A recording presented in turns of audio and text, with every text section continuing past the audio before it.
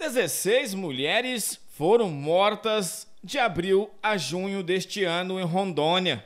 Os dados são de um levantamento feito na Secretaria de Segurança, Defesa e Cidadania, a SESDEC. Assassinato contra uma mulher cometido devido ao fato de ela ser mulher ou em decorrência da violência doméstica. Os outros 13 casos estão registrados como homicídio de mulher. Os números também revelam que das 16 vítimas do segundo trimestre, apenas três foram consideradas feminicídio. Ainda segundo o levantamento, 48 mulheres foram mortas no estado nos últimos quatro anos. Ocorrências por feminicídio e homicídio contra a mulher nos meses abril, maio e junho em Rondônia.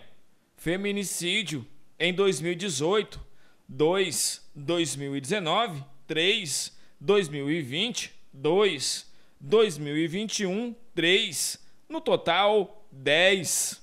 Homicídio em 2018, 10, em 2019, 2, em 2020, 13, em 2021, 13, no total 38. Total geral 2018, 12. 2019, 5. 2020, 15. 2021, 16.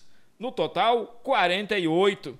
A SESDEC informou não ter dados de feminicídio e homicídio contra mulheres no ano de 2017. Em uma comparação entre o segundo trimestre de 2020 com 2021, Conforme os casos da SESDEC, os casos de feminicídio tiveram um aumento de 50%.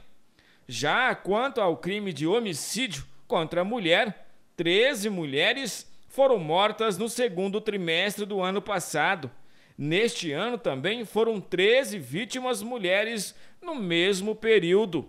Quanto às agressões contra mulheres, no primeiro trimestre do ano foram 2.378 ocorrências de violência doméstica registradas em Rondônia. Somado os dados desse mesmo período, abril, maio e junho, nos últimos cinco anos, foram 11.995 ocorrências de crimes de violência doméstica registradas no Estado. O ano com mais registro de violência doméstica no segundo trimestre foi em 2019, quando a polícia registrou 2.658 casos, sendo 1.479 ocorrências apenas de ameaça.